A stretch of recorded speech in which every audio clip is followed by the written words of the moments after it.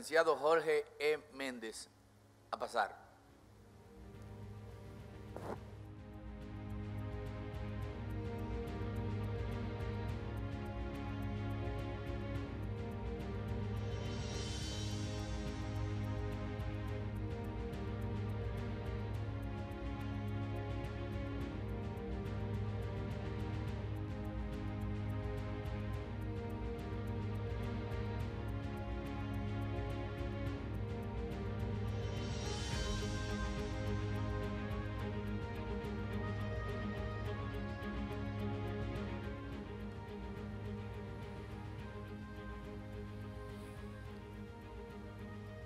Licenciado, buenas tardes. Bienvenido.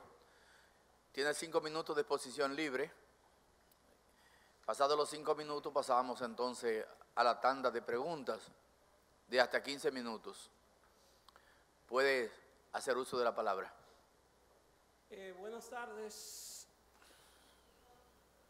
honorable señor presidente de la República, licenciado Danilo Medina y presidente del Consejo Nacional de la Magistratura, así como a los directos miembros del magno órgano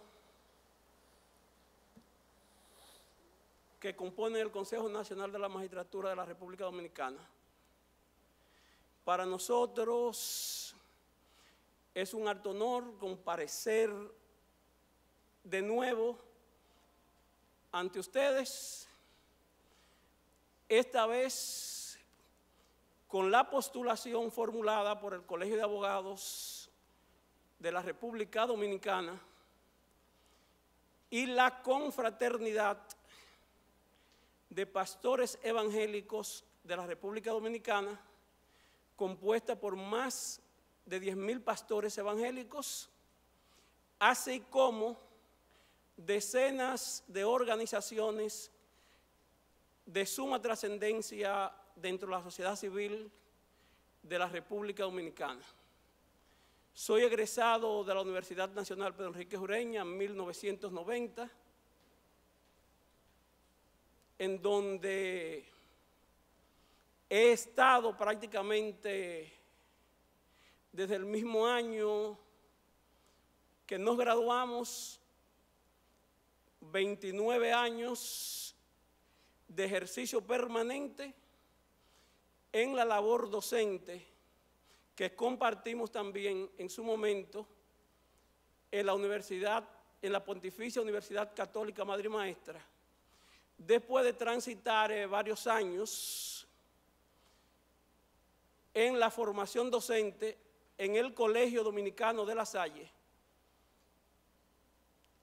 desde muy joven he estado vinculado directamente a lo que tiene que ver con el quehacer del servicio social, tarea que he compartido directamente y durante todos estos años con un ejercicio ético dentro de la profesión del derecho a través desde el año 1979 en el cooperativismo nacional, donde eh, por el momento eh, somos el primer presidente, vicepresidente del Consejo Nacional de Cooperativas,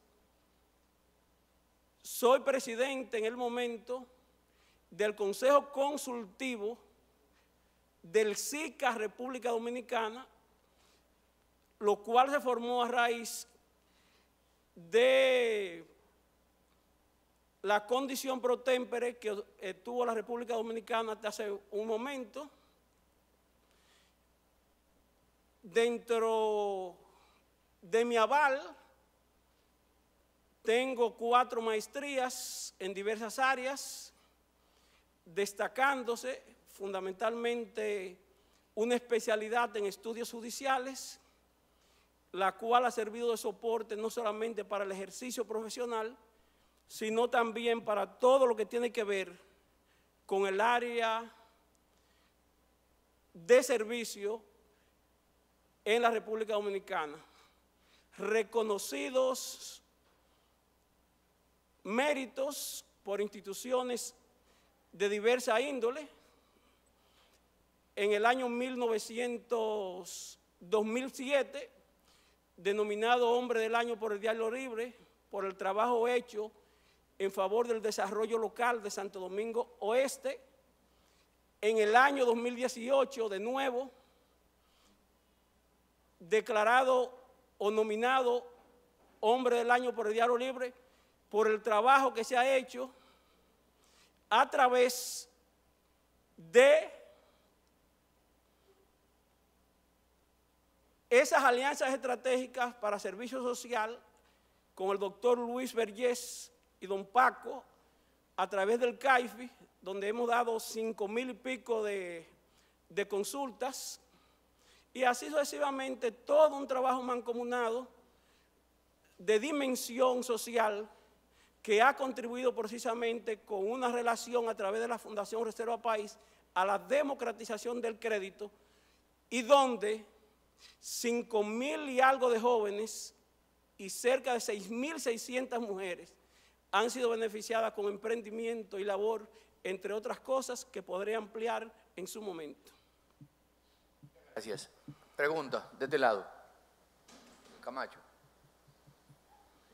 Bueno con ustedes ahora.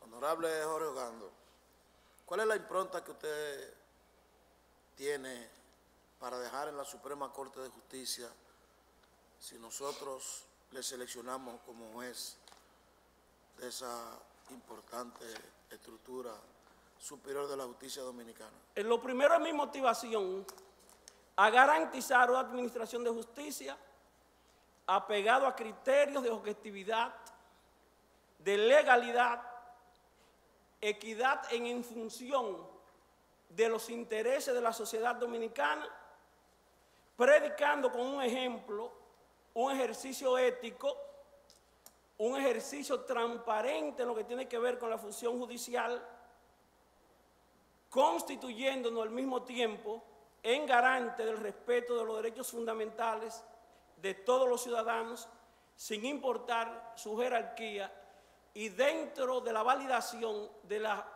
cuestión más importante, que es el respeto a la axiología de la pirámide de la dignidad humana. Muchas gracias. Castillo.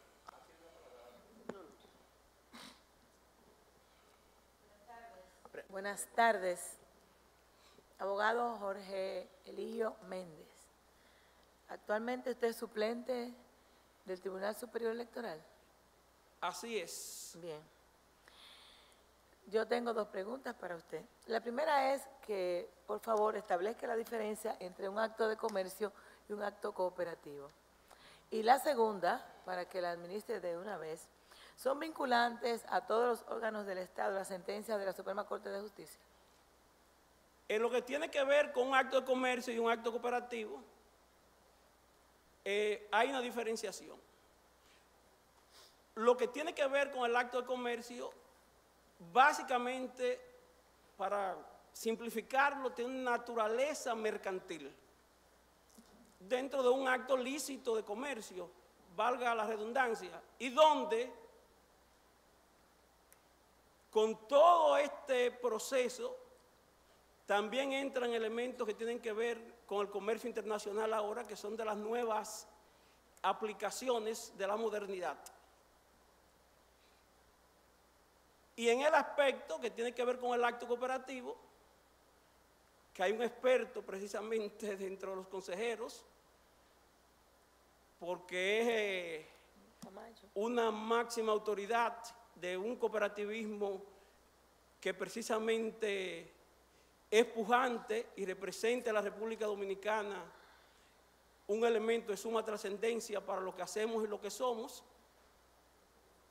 aparte de que también en el plenario está lo que podría ser el padre del nuevo cooperativismo dominicano,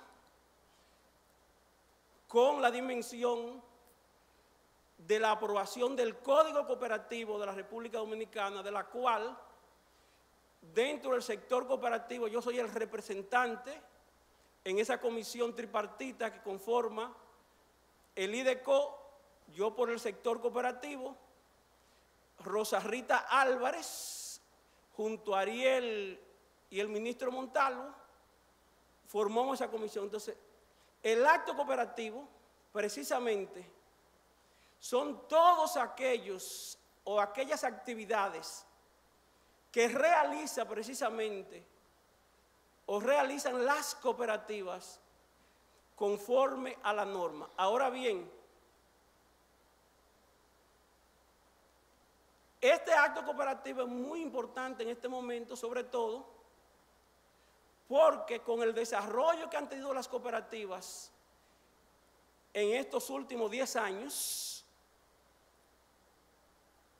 no podemos eh, tampoco dejar a un lado lo que tienen que ver con los aportes que el propio Estado a través del gobierno central ha venido dando para la conformación también de cooperativas. Esto trae como punto vital, mi honorable diputada, que la transformación social, el desarrollo local, la inclusión social, la cohesión social, y la mitigación de la pobreza se ha venido dando precisamente a través de esos ejes transversales que el cooperativismo ha venido dando. Y dentro de ello, debo también destacar que en su momento dentro del Poder Judicial, que también hay una cooperativa muy pujante y que hace la diferencia también dentro del sector cooperativo dominicano, en un momento determinado hubo una jornada por un acuerdo tripartito entre la Suprema Corte de Justicia y la Escuela de la Judicatura para dotar de instrumentos y mecanismos a todos los jueces de primera instancia y de trabajo en materia del conocimiento de cooperativo, que eso estuvo precisamente a mi cargo. Situación similar que se da en la Cámara de Diputados, que también hay su cooperativa, en el Senado de la República, en la Procuraduría General de la República, que también hay una cooperativa muy pujante e importante, y gran parte de esas cooperativas dentro del sector, nosotros hemos escrito una obra que hasta hace poco eh, fue publicada el año pasado eh, con tres ediciones, de 4.000 ejemplares ya sobre lo que tiene que ver con el derecho cooperativo en la República Dominicana y que estamos esperando que nuestros honorables legisladores doten el país precisamente de una nueva legislación cooperativa para entonces un libro que tenemos en carpeta publicarlo porque, y hago énfasis en esto, nosotros estamos hablando que entre, que entre el 7 al 9% del Producto Interno Bruto lo están manejando dentro de la economía nacional las cooperativas de la República Dominicana. Eh, evidentemente a usted le apasiona el tema del cooperativismo, pero eh, todavía no me ha establecido la diferencia entre el acto de comercio simple y sencillo y el acto cooperativo. El, el acto cooperativo decía que la diferencia estriba en que tocan eminentemente todos los actos o actividades o transacciones, vamos a llamarle así, que pueda hacer la cooperativa con sus socios o entre otras cooperativas. Y el acto de comercio es puramente de naturaleza mercantil. Ok, y la otra pregunta que le hice, si son vinculantes eh, a todos los órganos del Estado las sentencias de la Suprema Corte de Justicia? No, no son vinculantes. La, eh, Suprema Corte de Justicia traza eh, precedentes que tampoco son, vamos a decir así, hasta cierto punto de una naturaleza imperativa para los tribunales inferiores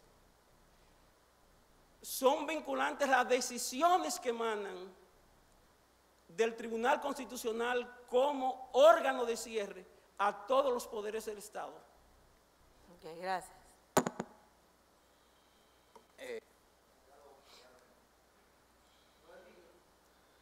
Usted ha dedicado al ejercicio de la profesión de abogado, ¿sí o no? Claro, eh, me he dedicado al ejercicio de la profesión de manera profusa, no confusa.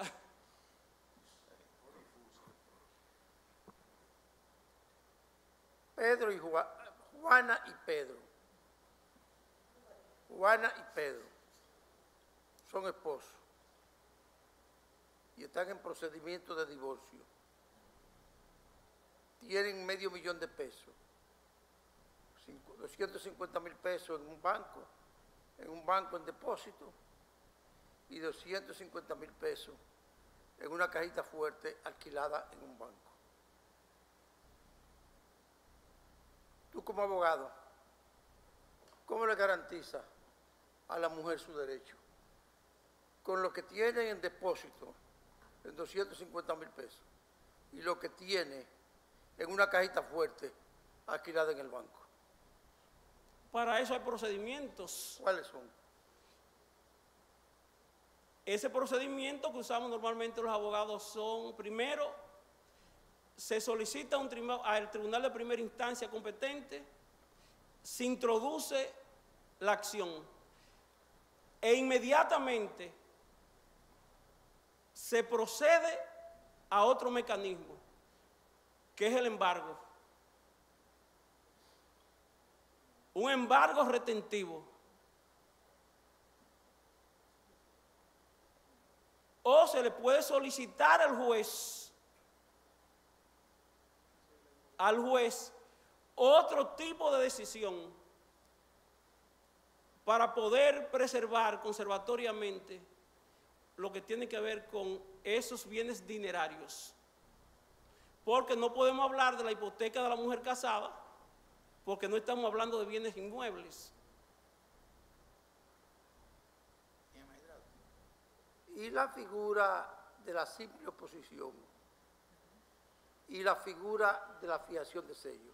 son eh, completamente viables. Fue lo- eh, fueron de los aspectos, esos propios aspectos de la, de la oposición, fueron precisamente cuestiones elementales eh, que también aprendí de usted en aquellas fabulosas cátedras de Derecho Procesal Civil en la Universidad Nacional Pedro Enrique Ureña. Magistrado, muchas gracias y mucha suerte. Gracias a ustedes.